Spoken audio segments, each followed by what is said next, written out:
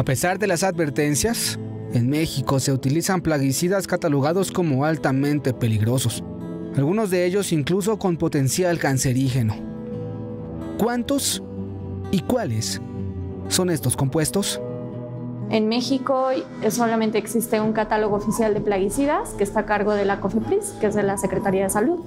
y que son los que regulan el tipo de sustancias que se pueden aplicar. Sin embargo, en México aún se permiten eh, pues 183 sustancias o activos, ingredientes, que son altamente peligrosos, de los cuales 140 han sido prohibidos en otros países por su alta toxicidad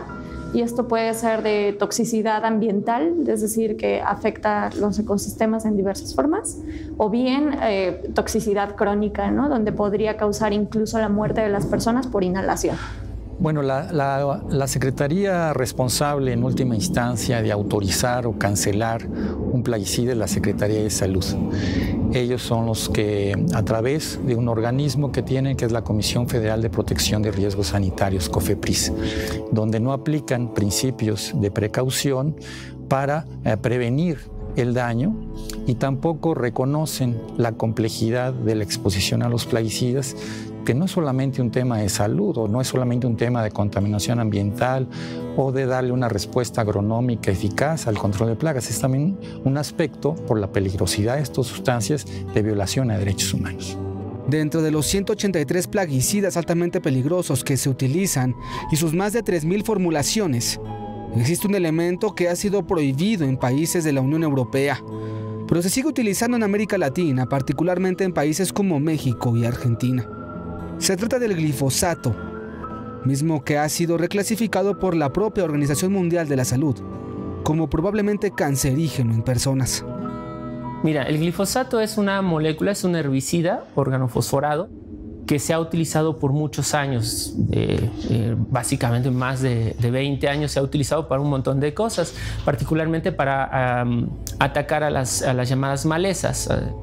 en principio es un compuesto poco persistente, tóxico para las, para las herbáceas, pero em, resulta que a raíz de que se empieza a propagar el uso de organismos genéticamente modificados, eh, empiezan a observarse efectos por su uso tan frecuente y concentraciones altas, efectos ya invertebrados. Los primeros reportes vinieron de Argentina, eh, de estudios del grupo del doctor Andrés Carrasco, donde observa que eh, los anfibios empiezan a mostrar eh, mutaciones y malformaciones,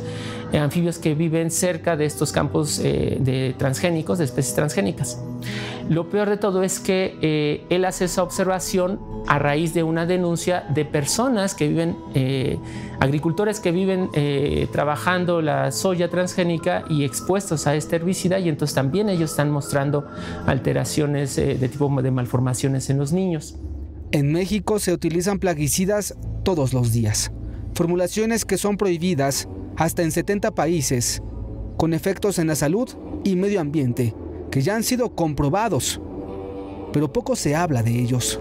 En nuestro país, los niños de ciertas áreas eh, rurales, sobre todo, participan con sus ah, familias, con sus padres o adultos en las aplicaciones de estos agroquímicos en sus parcelas, ya sea propias o donde van a trabajar. Entonces, estos chiquitos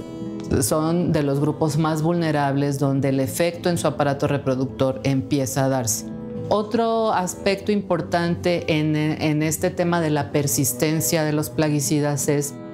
la generación de enfermedades terminales que requieren un periodo de mayor plazo como es el cáncer principalmente.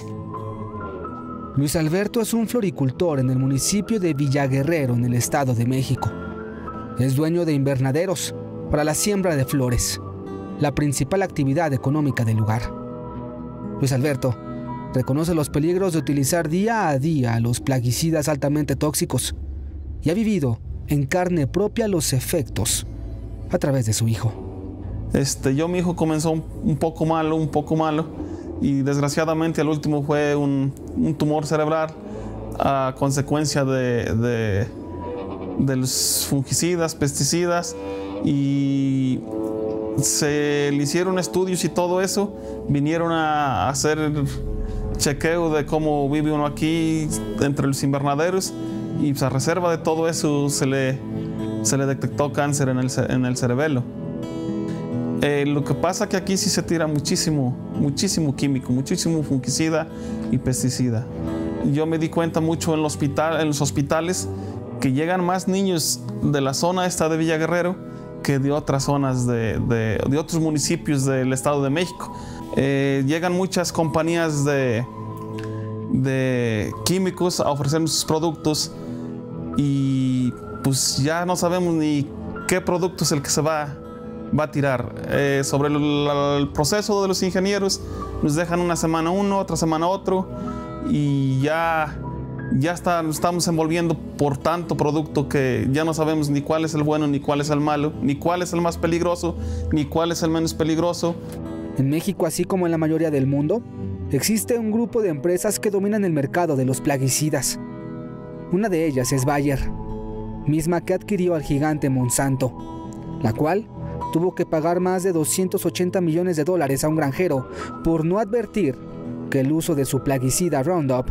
es cancerígeno. Asimismo, la empresa química estadounidense Dow se fusionó con el conglomerado DuPont y Chim China compró al grupo suizo de semillas y genética Syngenta,